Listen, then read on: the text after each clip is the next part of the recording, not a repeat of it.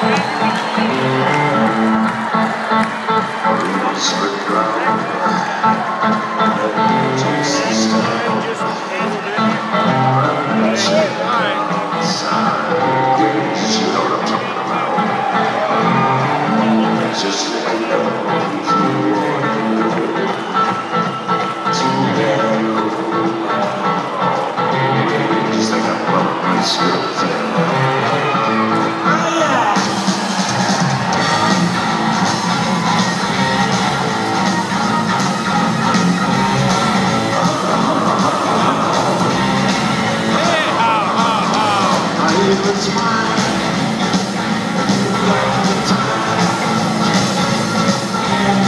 Miss